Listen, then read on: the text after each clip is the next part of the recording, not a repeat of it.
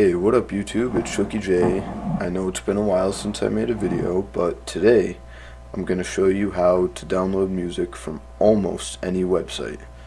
So here we go. You're going to need Google Chrome for this. I don't believe it works for any other browser, but you need Google Chrome. And just for example's sake, we're going to use this website. Um, disclaimer, I don't want to get the artist pissed at me. I gotta admit, they make really, really good music, and I actually have paid for it. But just I thought I'd point out their flaw. So, Kevin Envoy, if you're watching this, I really hope you take this into consideration and maybe fix the flaw in your coding. But, um, down here, this is his album, Adventures of a Cosmonaut and if you were to click on this it would start playing. So I'm sure you can hear that.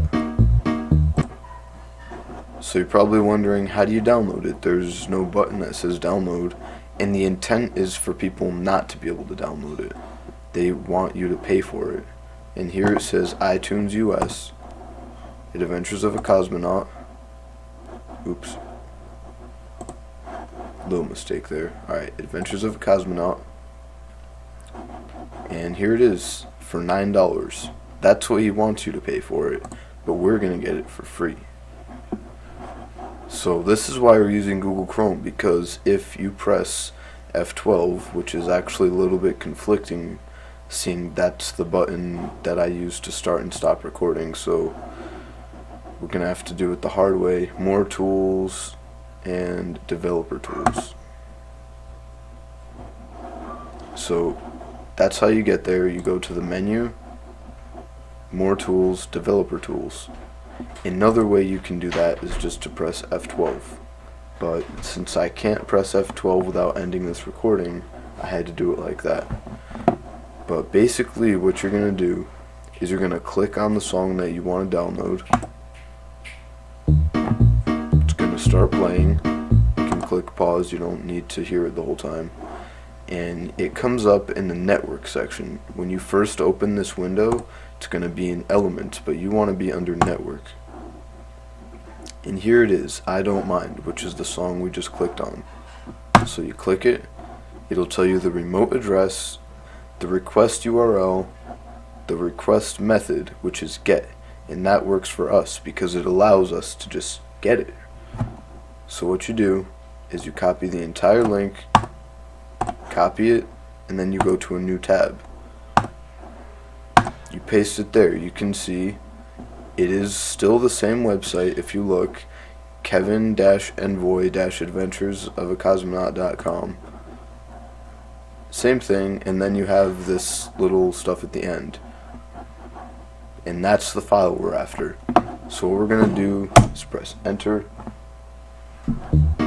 and as you can see, just starts playing. So right now we're just going to pause it, but what we're going to do now is right click and save as. And now you can see it's an MP3. Now I already downloaded this just to see if it would work, and it in fact did.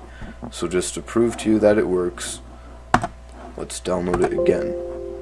Replace the file, and then we're going to open the file we just downloaded. Sure enough, it plays right in Windows Media Player. And if you really want to, you can go and do it for the rest of the songs too. So here we have that jazz. You click it, it comes up in the network window. It starts playing on the website itself. But what we want to do is click this, copy the link. We'll just reuse the same tab, clear that out, paste it, and there you go.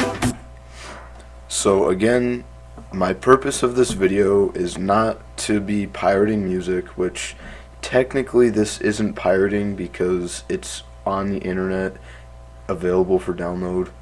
I know the artists would prefer that it be downloaded through iTunes because you pay for it, but in this case, it's technically not illegal seeing that you don't have to hack or breach security to get through it it's literally all you're doing is going into the developer settings of Chrome.